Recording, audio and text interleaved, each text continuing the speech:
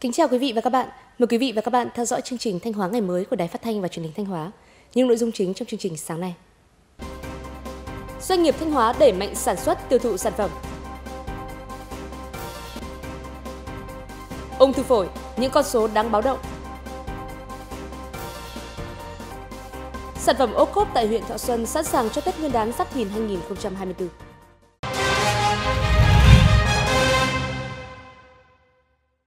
Mở đầu chương trình hôm nay là những thông tin kinh tế đáng chú ý. Thưa quý vị và các bạn, Việt Nam cùng với Ấn Độ và Nhật Bản là những thị trường có vị thế tốt nhất tại khu vực châu Á-Thái Bình Dương trong nửa đầu năm 2024. Dự báo được giới phân tích đưa ra trong bối cảnh thị trường Trung Quốc vẫn tiềm ẩn nhiều điều khó đoán định, nên các công ty đang áp dụng chiến lược đa dạng hóa điểm đến đầu tư trong khu vực.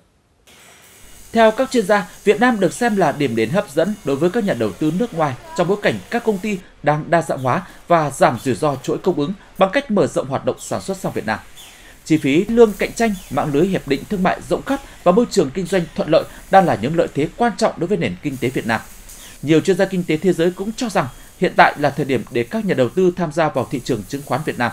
Các nhà đầu tư cũng lạc quan về lĩnh vực thương mại điện tử của Việt Nam về khả năng Việt Nam gia nhập danh sách các nền kinh tế thị trường mới nổi. Nhiều dự báo cho thấy nền kinh tế Việt Nam có thể sẽ tăng trưởng 6,3% trong quý 1 năm 2024 và 6,5% trong quý 2 năm 2024. Tăng trưởng GDP được dự báo ở mức 6% trong năm 2024 và 6,4% trong năm 2025. Căng thẳng tại Biển Đỏ đã khiến giá cước vận tải biển sang châu Âu tăng mạnh. Trước thực trạng này, Bộ Công Thương khuyến cáo các doanh nghiệp xuất khẩu phải chủ động các phương án vận chuyển để không ảnh hưởng đến tiến độ giao hàng. Theo Bộ Công Thương, do ảnh hưởng từ căng thẳng tại Biển Đỏ, nhiều tàu chở hàng đã phải đi tránh sang tuyến đường dài hơn, làm kéo dài thời gian di chuyển thêm từ 7 đến 14 ngày. Với mỗi một container đi qua khu vực châu Âu, chi phí dự kiến có thể tăng thêm từ 1.000 đến 2.000 đô la Mỹ. Những mặt hàng bị ảnh hưởng nhiều gồm dệt may, da giày, đồ gỗ cho đến các sản phẩm điện tử. Do đó, Bộ Công Thương nhấn mạnh doanh nghiệp xuất khẩu các tuyến dài cần có biện pháp ứng phó kịp thời. Kể từ giữa tháng 12 năm 2023 đến nay, giá cước vận chuyển một container 40 feet từ châu Á đến Bắc Âu là 4.000 đô la Mỹ, tăng 173%. Chi phí từ châu Á đến Địa Trung Hải đã tăng gấp đôi lên hơn 5.000 đô la Mỹ. Nhiều nhà bán lẻ hàng đầu thế giới của Mỹ, châu Âu, châu Á đang lo lắng khi chi phí độ lên cao dẫn đến nguy cơ thiếu hụt hàng hóa do cước vận tải biển tăng cao.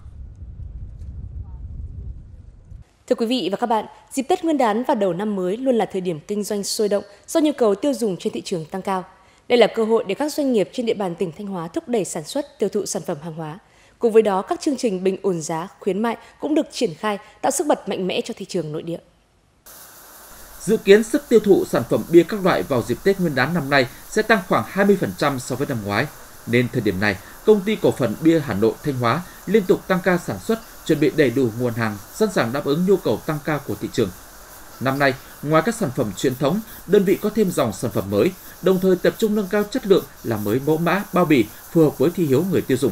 Đáng chú ý, dù giá nguyên liệu đầu vào có nhiều biến động và tăng mạnh, nhưng với sự chủ động trong sản xuất, công ty sẽ giữ bình ổn giá sản phẩm thời điểm trước trong và sau Tết Nguyên đán. Liên quan đến công tác thị trường, chúng tôi cũng đã phát triển và giữ vững cái thị trường tiêu thụ của bia Thanh Hóa trong tỉnh đa dạng cái mẫu mã sản phẩm. Chúng tôi cũng ờ, cung cấp cho thị trường một số các cái sản phẩm mới các cái mẫu mã mới đáp ứng cái, cái nhu cầu ngày càng cao của khách hàng. Kỳ vọng và cái sức tiêu thụ của sản phẩm trên thị trường cũng ờ, sẽ là rất là tốt.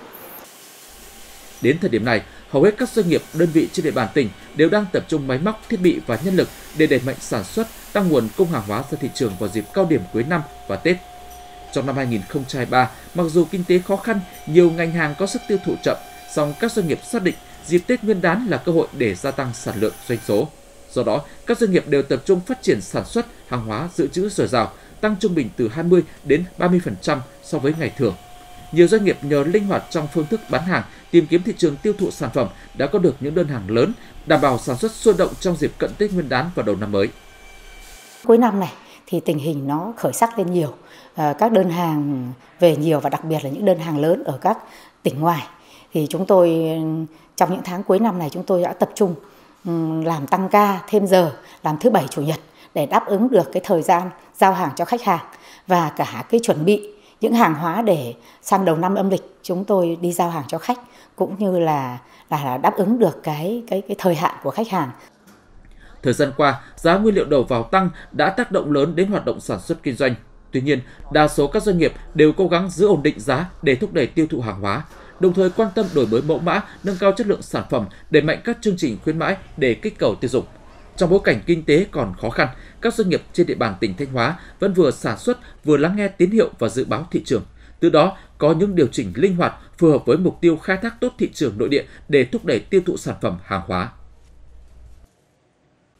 Chỉ còn chưa đầy một tháng nữa là đến Tết Nguyên đán 2024. Thời điểm hiện tại, các chủ thể ô cốp của huyện Thọ Xuân, tỉnh Thanh Hóa đang tích cực chuẩn bị hàng hóa để phục vụ người dân trong dịp Tết cổ truyền của dân tộc.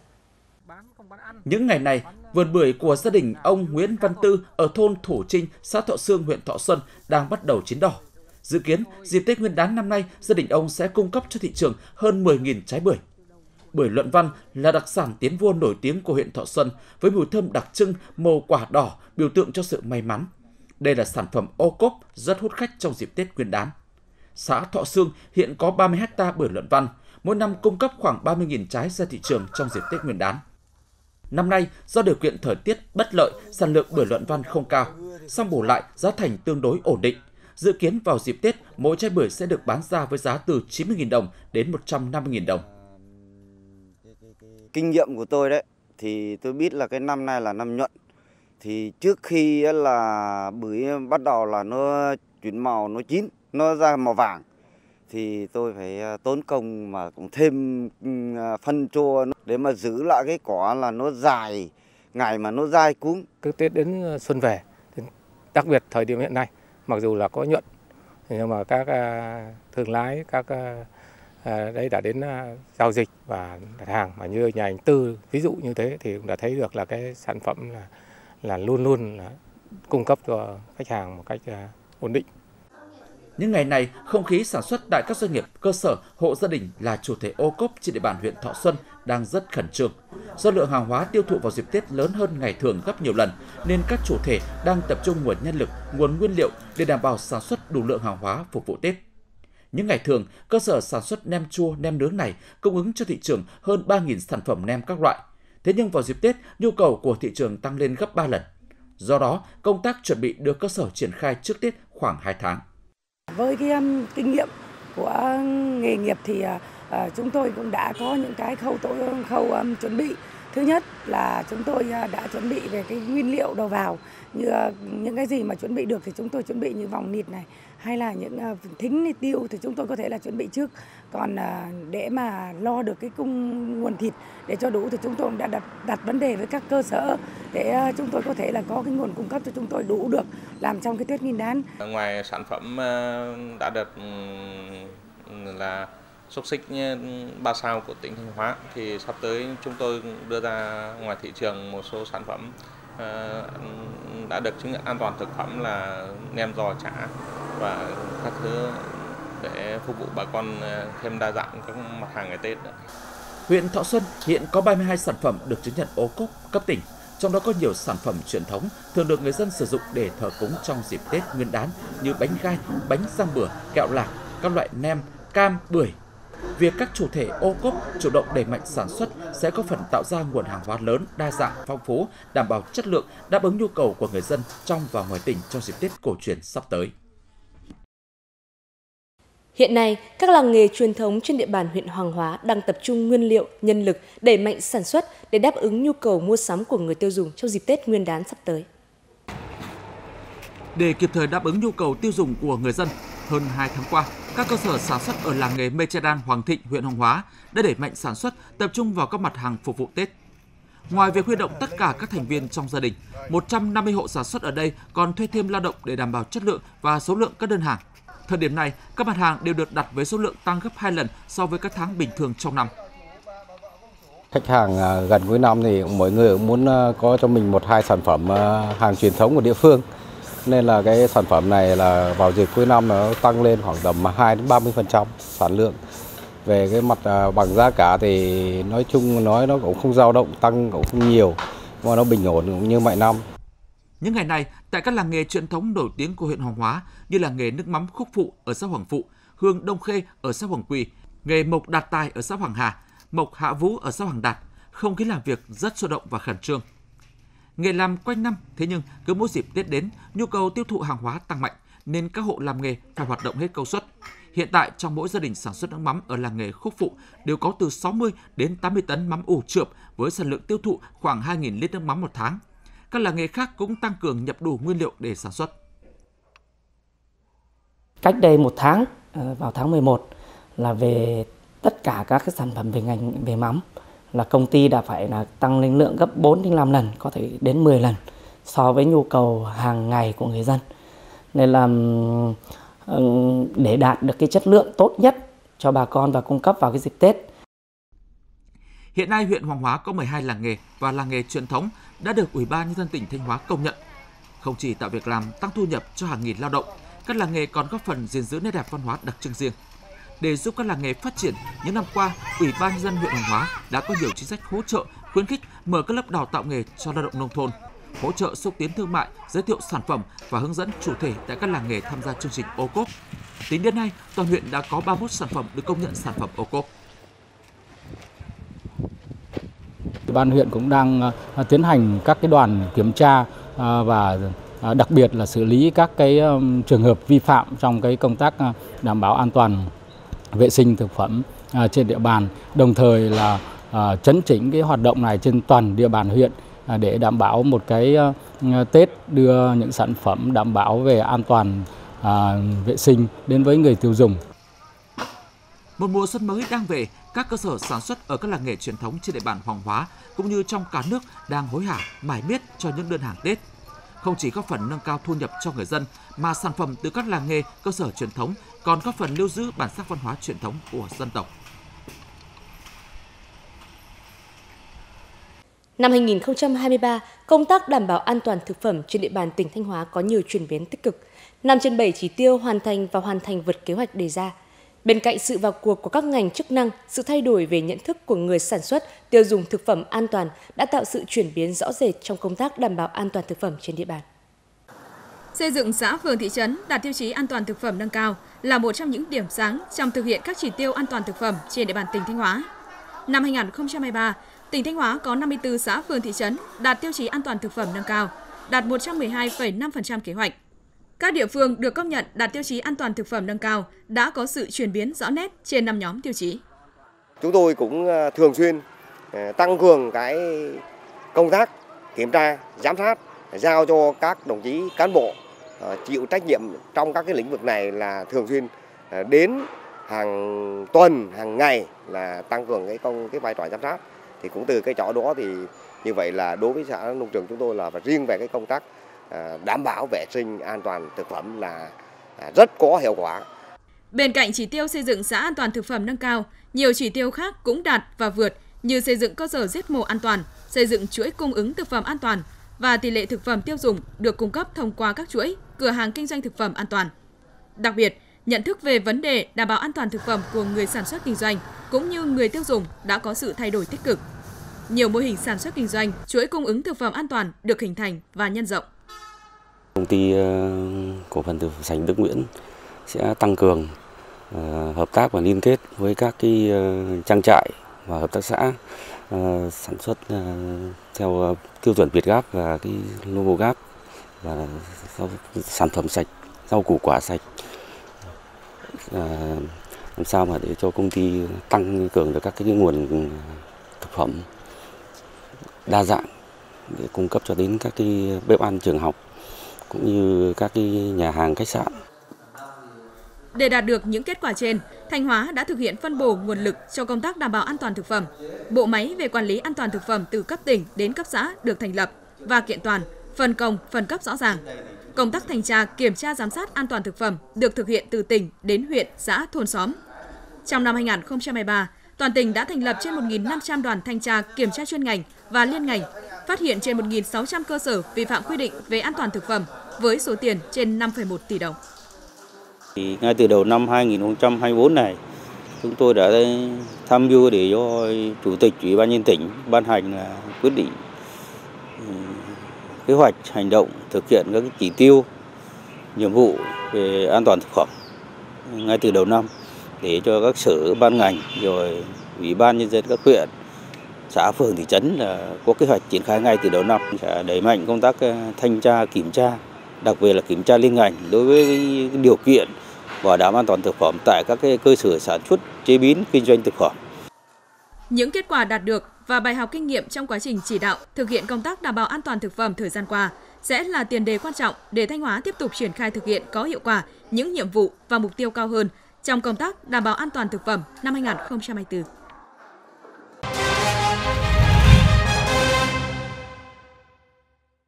Bản tin Thanh Hóa ngày mới xin được chuyển sang những thông tin khác. Thưa quý vị, thưa các bạn, Ủy ban Nhân dân tỉnh Thanh Hóa vừa ban hành kế hoạch về việc phòng chống dịch bệnh truyền nhiễm ở người năm 2024. Cụ thể, tăng cường công tác chỉ đạo phòng chống dịch, nâng cao hiệu quả phối hợp liên ngành trong triển khai các biện pháp phòng chống dịch bệnh, kiểm tra giám sát các hoạt động về phòng chống dịch bệnh tại các địa phương, tăng cường công tác truyền thông, nâng cao nhận thức của người dân về công tác phòng chống dịch bệnh, giám sát chặt chẽ, phát hiện sớm, đáp ứng nhanh và xử lý triệt để các ổ dịch, giảm số mắc và tử vong các bệnh truyền nhiễm, ngăn chặn kịp thời bệnh dịch truyền nhiễm nguy hiểm, không để dịch lớn xảy ra, đảm bảo đủ kinh phí, thuốc, vật tư hóa chất, trang thiết bị y tế, đáp ứng kịp thời trong công tác phòng chống dịch bệnh. Sở Y tế tỉnh Thanh Hóa thường xuyên cập nhật, theo dõi sát diễn biến tình hình dịch bệnh trên thế giới, trong nước, cung cấp kịp thời các thông tin về tình hình dịch bệnh, thường xuyên cập nhật, hướng dẫn giám sát và phòng chống các bệnh truyền nhiễm theo hướng dẫn của Bộ Y tế, triển khai phù hợp với diễn biến tình hình dịch tại địa phương. Tại Việt Nam, ung thư phổi là căn bệnh ung thư thường gặp và nguy hiểm thứ hai sau ung thư gan. Đáng lo ngại, số lượng người bị ung thư phổi gia tăng nhanh qua các năm. Tại Việt Nam, năm 2018, phát hiện gần 24.000 ca mắc mới ung thư phổi và hơn 20.000 người tử vong. Năm 2020, tăng lên là 26.262 ca mắc mới và 23.797 ca tử vong. Chỉ khoảng 25% người mắc ung thư phổi được phát hiện ở giai đoạn sớm. Khói thuốc lá là nguyên nhân của hơn 90% ca bệnh ung thư phổi. Ung thư phổi là loại ung thư có tiên lượng sống sau 5 năm thấp vì đa số các trường hợp phát hiện khi ung thư đã di căn. Đây là những con số đáng báo động mà mỗi chúng ta không thể thở ơ. Nhiều nghiên cứu cho thấy nguyên nhân tác động gây nên bệnh ung thư phổi gắn với môi trường, chế độ ăn uống, thói quen hút thuốc lá, điều kiện lao động, nhiễm độc nước, không khí và nếp sống thiếu vệ sinh. Đặc biệt khi có nhiều yếu tố phối hợp với nhau, nguy cơ mắc bệnh càng tăng. Ung thư phổi thường diễn biến âm thầm ở giai đoạn đầu, khi có các biểu hiện điển hình như ho khan dai dẳng, sụt cân, đau ngực, ho ra máu, thì bệnh đã ở giai đoạn muộn. Với sự phát triển của y học hiện đại, bệnh ung thư phổi có thể phát hiện sớm nếu người dân chủ động tầm soát, khám sức khỏe định kỳ. Tuy nhiên, theo thống kê của ngành y tế, chỉ khoảng 25% bệnh nhân ung thư phổi đến viện ở giai đoạn đầu có khả năng phẫu thuật. Năm thì có khoảng 3.000 ờ, ca bệnh nhân ung thư đến khám và điều trị. Những bệnh nhân đến khám và điều trị ở chúng tôi ở giai đoạn cũng ờ, không còn là giai đoạn sớm, thường ở giai đoạn 3, giai đoạn 4 nên cái khả năng điều trị của bệnh nhân kém. Phẫu thuật đóng vai trò quan trọng mang tính triệt căn trong điều trị ung thư phổi. Thế nhưng do phát hiện muộn khi ung thư đã di căn nên đa phần bệnh nhân mắc ung thư phổi mất đi cơ hội điều trị bằng phương pháp hiệu quả này. Yếu tố quan trọng nhất là phải tầm soát ung thư định kỳ. Ờ, để tầm soát ung thư định kỳ thì sẽ bao gồm cái việc là khám bởi bác sĩ chuyên khoa và chỉ định các cái xét nghiệm phù hợp với lứa tuổi, giới tính, rồi ờ, yếu tố nguy cơ khi ờ, thăm khám. Và mục đích của tầm soát phát hiện sớm là để phát hiện được bệnh ờ, ung thư khi mà chưa có biểu hiện ở lâm sàng. Tại Việt Nam, ung thư phổi là căn bệnh ung thư nguy hiểm thứ hai sau ung thư gan. Các chuyên gia y tế khuyến cáo với bệnh ung thư, phát hiện càng sớm, tỷ lệ chữa khỏi càng cao, tiết kiệm về chi phí. Thế nhưng hiện nay, việc tầm soát phát hiện ung thư vẫn chưa được nhiều người quan tâm. Điều này đòi hỏi cần có các cách thức truyền thông hiệu quả hơn nữa để người dân hiểu được ý nghĩa, sự cần thiết của việc tầm soát, phát hiện sớm ung thư. Thời gian vừa qua, các cơ quan truyền thông, tạp chí, website du lịch quốc tế đã nhiều lần vinh danh điểm đến hấp dẫn của Việt Nam. Điều này góp phần quảng bá hình ảnh du lịch Việt Nam trên toàn thế giới.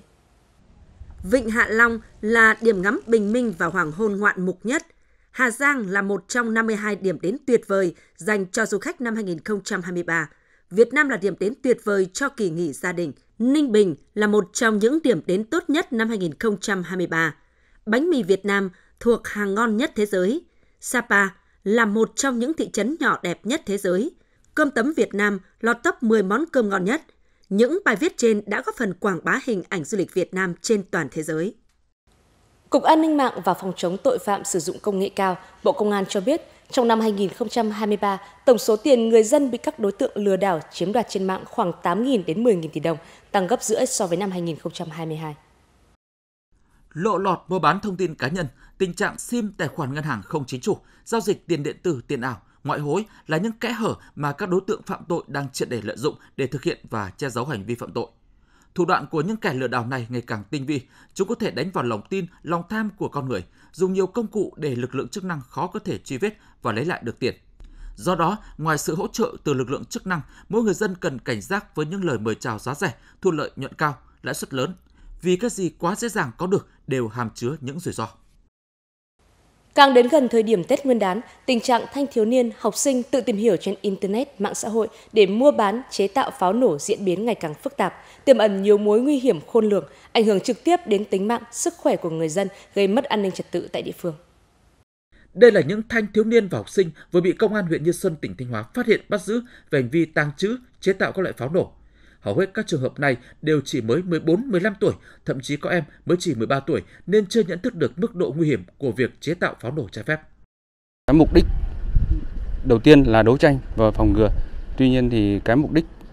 lớn nhất mà chúng tôi muốn thực hiện đấy là nhằm tuyên truyền và gian đe các cháu để làm sao các cháu thực sự trở thành những cái con người mà có ích và cố gắng học tập chứ không phải là tham gia vào các cái tệ nạn xã hội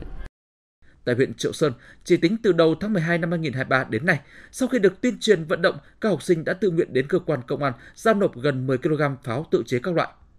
Lực lượng công an cho biết nguyên nhân dẫn đến tình trạng thanh thiếu niên tự chế pháo nổ có xu hướng tăng là do tâm lý tò mò hiếu kỳ, trong khi các nguyên liệu và cách thức tự chế pháo có thể tìm kiếm, mua bán rất dễ dàng trên mạng xã hội. Thêm vào đó, gia đình các em thường thiếu quan tâm, giám sát và quản lý con. Nhiều trường hợp các em tụ tập thành nhóm tự chế pháo tại nhà nhưng cha mẹ không hề hay biết. Con đi học ừ, nên em cũng nghĩ là tin tưởng con cho nên mà mình lơ là, mình không biết được là con đã mua gì và làm gì. Cho đến bây giờ nó vỡ lỡ ra rồi thì mới biết ạ. Để nâng cao hiệu quả công tác phòng ngừa, ngăn chặn tình trạng học sinh tự chế pháo nổ, nhất là trong thời gian Tết Nguyên đán, lực lượng công an Thanh Hóa đã tăng cường công tác nắm tình hình, thường xuyên phối hợp với chính quyền địa phương và ngành giáo dục, đẩy mạnh tuyên truyền các quy định pháp luật liên quan đến pháo tại các trường học và khu dân cư, vận động sự vào cuộc của gia đình, nhà trường trong quản lý giám sát con em và học sinh. Nhà trường đã tổ chức tuyên truyền qua nhiều kênh, trong đó có tuyên truyền trực tiếp ở trên lớp. Cái thứ hai nữa là qua các cái trang web của nhà trường qua ra kênh Zalo phối hợp với ờ, công an địa phương tổ chức cho phụ huynh và học sinh cũng như giáo viên chủ nhiệm là ký các cái bản cam kết về cái việc là thực hiện tốt là không sử dụng uh, các cái vật liệu nổ và pháo trái phép. Ngay từ đầu là Ủy ban dân huyện đã chủ động chỉ đạo cho công an tham mưu xây dựng các cái kế hoạch để phòng chống vấn đề này. Rồi các cơ quan ban ngành tuyên truyền giám sát đối với uh, Ờ, nhân dân đặc biệt đối tượng thanh thiếu niên trong cái vấn đề thực hiện cho phòng chống pháo nổ. Còn cái quan điểm của huyện là phải chỉ đạo quyết liệt để thực hiện vấn đề này. Còn nếu đơn vị nào mà buông lỏng quản lý mà thực hiện sai thì sau này sẽ xem xét vai trò trách nhiệm của tập thể và cá nhân của người đứng đầu. Hành vi sản xuất tiêu thụ, sử dụng pháo nổ là vi phạm pháp luật, bị nghiêm cấm dưới mọi hình thức. Nếu nhẹ có thể bị xử phạt hành chính, còn nặng hơn sẽ bị xử lý hình sự. Điều đáng lo ngại là các em học sinh có thể bị thương tật, thậm chí là chết người. Do đó, bên cạnh sự vào cuộc quyết liệt của lực lượng công an, chính quyền địa phương và ngành giáo dục, thì các gia đình cần quan tâm giáo dục con em nhận biết, tránh xa những hành vi vi phạm liên quan đến pháo nổ.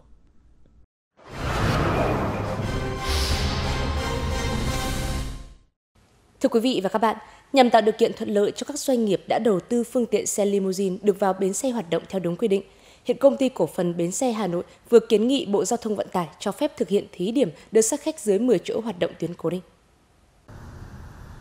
Lý do công ty này kiến nghị Bộ Giao thông Vận tải là bởi hiện nay tình trạng xe hợp đồng trá hình, còn gọi là xe limousine, hoạt động như xe tuyến cố định phát triển mạnh ở nhiều tỉnh, thành phố trên cả nước và gần như đều tập trung đầu mối về Hà Nội. Loại phương tiện này tiếp cận hành khách bằng sự tiện lợi, giá cả phải chăng, nhưng lại tạo ra sự bất bình đẳng trong kinh doanh vận tải khách liên tỉnh, gây áp lực cho giao thông đô thị. Vì vậy, việc cho phép đưa xe khách dưới 10 chỗ hoạt động tuyến cố định sẽ góp phần nâng cao chất lượng dịch vụ, thu hút khách vào bến, đẩy lùi hoạt động xe dù, bến cóc, xe hợp đồng trá hình. Tổng công ty Đường sắt Việt Nam cho biết, dịp Tết Giáp Thìn 2024, ngành đường sắt sẽ tổ chức thêm 8 chuyến tàu tuyến Bắc Nam, tương ứng cung cấp hơn 4.000 chỗ phục vụ nhu cầu đi lại của hành khách bằng tàu hỏa. Tổng công ty Đường sắt Việt Nam cũng cho biết thêm, hiện ngành đường sắt đang mở bán vé trực tiếp tại các nhà ga, điểm bán vé của ngành, các đại lý bán vé thuộc Đường sắt Việt Nam và qua các tổng đài bán vé qua ứng dụng ví điện tử và trên website dsvn.vn hoặc vé tàu.com.vn. Thực hiện kế hoạch của Bộ Công an về đảm bảo trật tự an toàn giao thông Tết Giáp Thìn 2024, phòng ngừa, ngăn chặn các hành vi vi phạm là nguyên nhân dẫn đến tai nạn giao thông. Từ ngày 11 tháng 1, Công an Thanh Hóa đã thành lập các tổ công tác tăng cường tuần tra, kiểm soát trên các tuyến đường giao thông trọng điểm qua địa bàn tỉnh. Mặc dù ngày đầu ra quân trời mưa, thời tiết không thuận lợi, nhưng các tổ tuần tra kiểm soát vẫn triển khai theo đúng kế hoạch. Bắt đầu từ 6 giờ sáng ngày 11 tháng 1, Công an Thanh Hóa đã thành lập 7 tổ công tác, chia làm 4 ca bố trí tuần tra kiểm soát lưu động khép kín địa bàn từ khu vực dốc xây thị xã Bỉm Sơn vào đến khu vực khe nước lạnh thị xã Nghi Sơn. Trong quá trình tuần tra, các tổ công tác sẽ sử dụng thiết bị kỹ thuật nghiệp vụ kiểm tra, phát hiện người điều khiển phương tiện vi phạm các lỗi quá tốc độ, chở hàng quá tải, vi phạm nồng độ cồn, cải tạo kích thước thùng hàng. Qua đó kịp thời phòng ngừa, ngăn chặn tận gốc các hành vi vi phạm trật tự giao thông là nguyên nhân xảy ra tai nạn. Đặc biệt, đợt gia quân lần này bên cạnh lực lượng thuộc phòng cảnh sát giao thông, phòng cảnh sát cơ động và công an huyện, tổ công tác còn huy động cả lực lượng công an xã trên tuyến, địa bàn để phối hợp tuần tra kiểm tra, phát hiện, xử lý vi phạm.